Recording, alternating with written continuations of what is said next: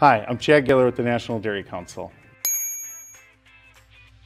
When someone mentions Swiss cheese, I bet you get an iconic image of a cheese wedge with holes in it.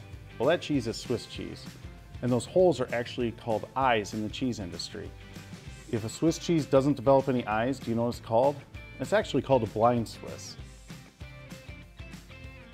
In Switzerland, it's called Emmental or Emmentaler for the region it was developed in, and it has to be made there to be called that. Swiss immigrants brought what we affectionately call Swiss cheese to the US around 1900.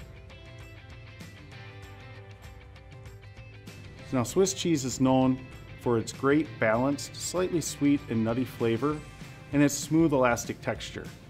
But the fat level and how long it's aged can really impact the flavor profile of the cheese. Traditional or regular Swiss is usually aged for about two to four months and is made with part skim milk. That means a bit of the cream was removed just before they make the cheese. Try Swiss in one of your favorite recipes. I love it just on a sandwich or adding it to my mac and cheese, but try it as a French onion grilled cheese. It's a great twist on a classic. And for more cheese tips and the recipe, check out usdairy.com.